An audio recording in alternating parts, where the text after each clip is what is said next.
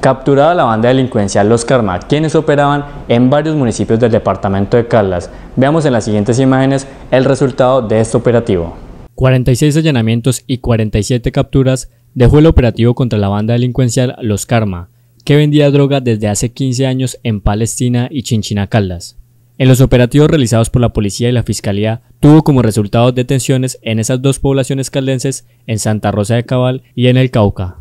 Asimismo, se lograron decomisar 3.200 dosis de estupefacientes, 4 armas de juego y 47 millones de pesos en efectivo.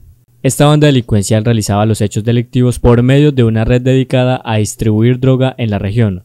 Los 47 capturados fueron judicializados por concierto para delinquir. El operativo se llevó a cabo en la madrugada del viernes 28 de febrero, en donde hombres de todas las especialidades de la policía y la fiscalía adelantaron los allanamientos pertinentes, logrando la captura de estos delincuentes en Palestina y Chinchiná.